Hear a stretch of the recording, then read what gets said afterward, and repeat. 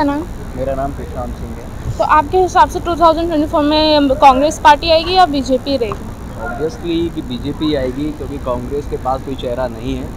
तो may be सारी जनता का यही फैसला है कि वो बीजेपी को ही वोट दे रही है।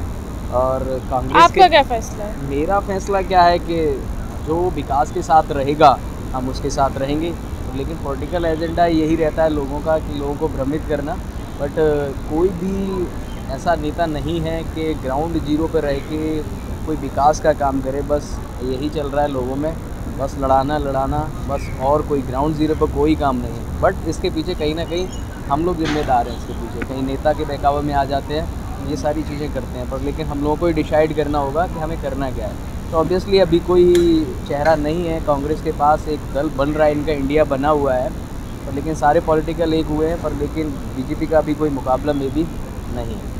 Thank you so much. Oh.